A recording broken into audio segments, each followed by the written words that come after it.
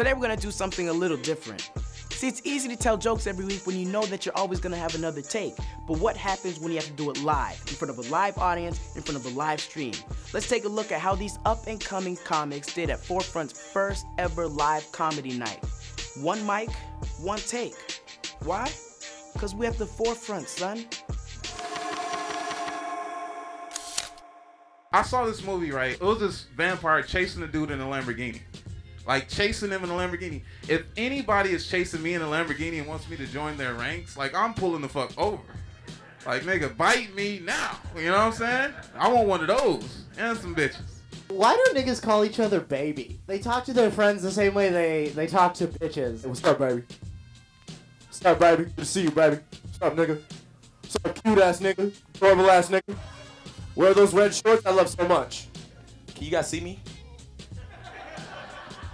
I'm light skinnedly challenged, so I want to make sure when I step in, you don't just see like buttons and a microphone and shit.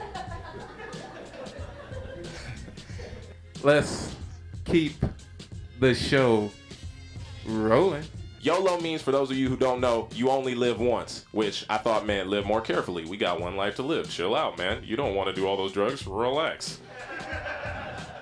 But no, what it really means is, dude, fucking take those drugs, fucking party on the street, fucking drive your fucking vehicle off of a cliff. Who cares? You got insurance? Fuck that shit.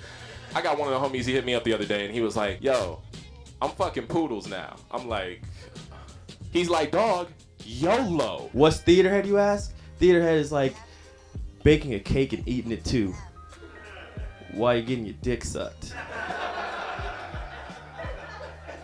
I think of what I would tell my kid.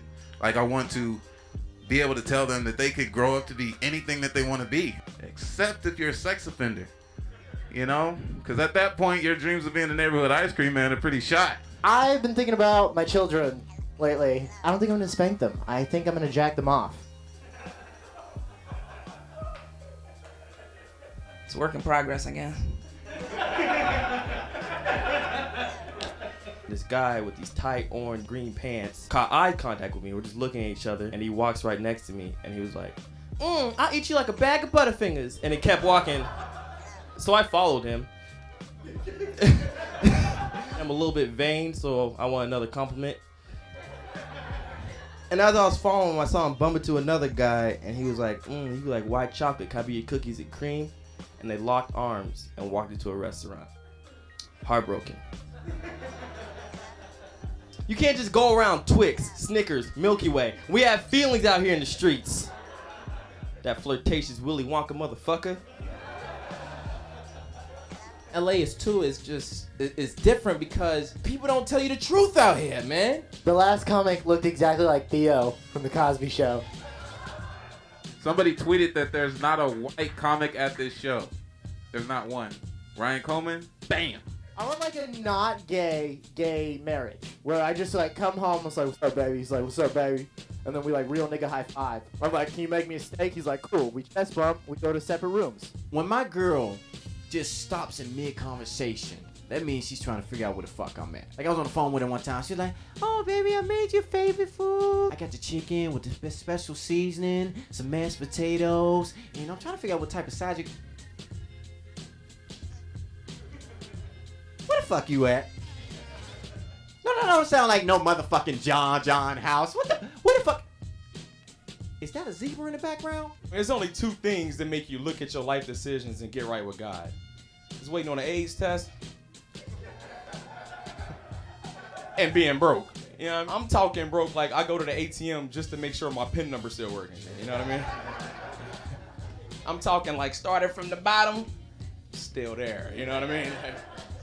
You know you broke when all you got time for is to reflect on every dollar you ever spent. You get deep into it. Like, man, in the ninth grade, I bought two bags of chips. Man, if I'd just bought one. I think of all the things that I'll miss out on if I die, you know? Like, I'll never know what the fuck DMX stands for, you know? Like, he never did explain that, did he? When I walked into the class, this girl comes into the class and she was like, she was all excited. She was like, I just turned 18 today. And like all the boys and stuff, they circle her. They was excited. You know, she was the pretty girl in the class. So I go to write my name on the board. Mr. Tennyson, all side here. Damn, he fine. I was like, oh shoot, what am I gonna do? I need to turn around. I probably need to send somebody to the office, let them know I don't play that. But then at the back of my mind, I was like, what if it's that pretty girl that just turned 18? This was the very first comedy night at Forefront. Hope you guys enjoyed it. If you didn't, well, go fuck yourself. You watched it already. well, guys, that's our show. Um, make sure you guys subscribe right here if you like subscribing to things, right? Check out our video playlist right here if you like playing with things. I'm Bach, and you've been at the forefront. Boss.